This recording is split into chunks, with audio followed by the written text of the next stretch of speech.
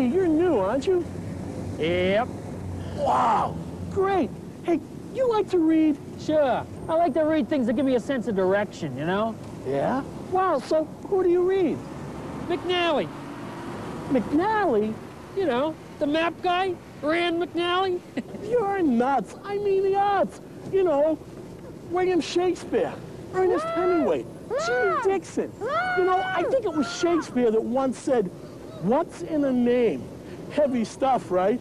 Especially with a name like Murphy. You know, he's the guy that wrote this book. If anything can go wrong, it will. And I got firsthand experience to know that's true. There was this one day, definitely a Murphy day.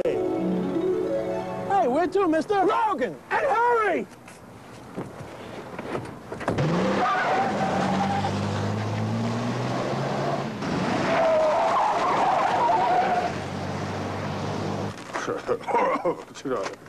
Right away, I didn't have a good feeling about this guy.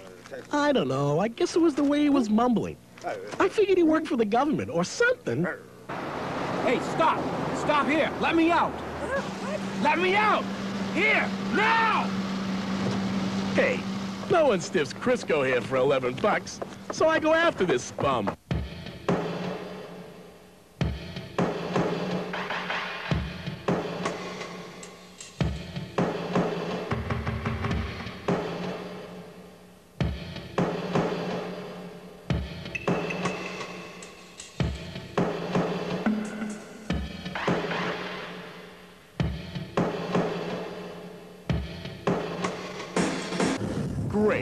Now I'm maimed, and I'm out 11 bucks because of some bum named Murphy.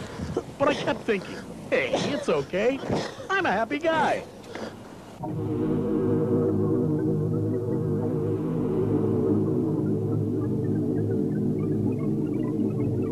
Let me get that off of something.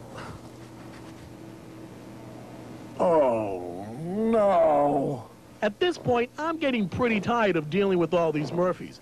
I'm out 11 bucks and I've got a bum leg. So I figure I'll go to the doctor. Guess what his name was? Yep, Chris Catello. Dr. Chris Catello. My uncle. He really knows his bones. After all, he went from breaking them to fixing them. Yet sometimes I still wonder. No! No!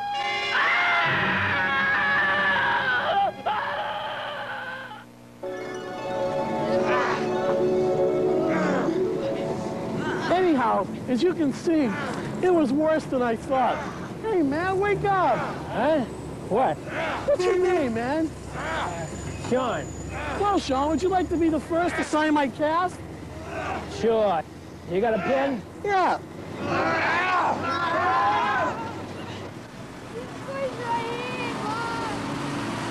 Have a nice summer. Sean Murphy. Murphy? Sean Murphy? Sean Murphy? Relax. What's in a name, anyway? Murphy?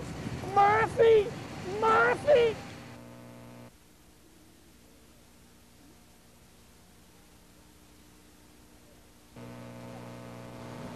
Hey, mister!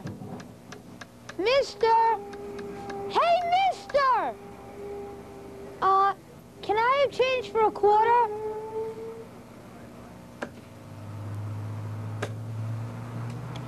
And what time is What are you, it? some kind of pest? No, just a kid. Well, kid, I say it's time for you to get out of here. Seems like that one happen every day to us kids. So listen up, grown-ups. Save that lack of respect for a guy named Dangerfield. Because if kids don't start getting some real respect, we're going to unite and throw a megaton tantrum. And believe me, it'll get real ugly. So please, look into your hearts and be nice to young people. Get away, kid. Because if you don't, it'll get real ugly.